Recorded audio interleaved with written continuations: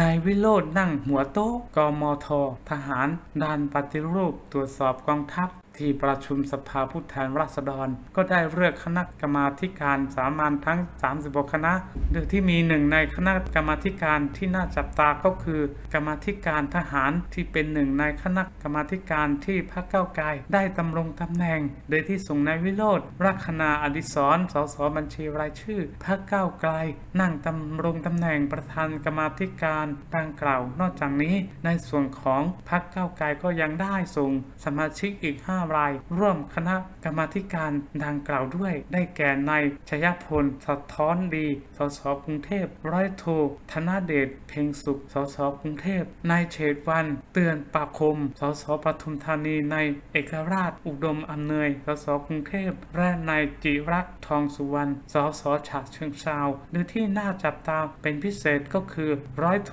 ธนเดช เพ็งสุข ซึ่งก็เป็นอดีตทหารสังกัดกองทัพอากาศนักเรียนเตรียมทหารรุ่นที่ 52 ซึ่งก็ที่ผ่านมาก็ได้มีบทบาท ในการเปิดเผยความไม่ปกติของข้อกล่าวหาการทุจริตภายในกองทัพมาหลายเรื่องแล้ว รวมไปถึงเป็นหนึ่งในบุคคลหลักที่ขับเคลื่อนวาระการปฏิรูปกองทัพของพรรคก้าวไกลอย่างแข็งขัน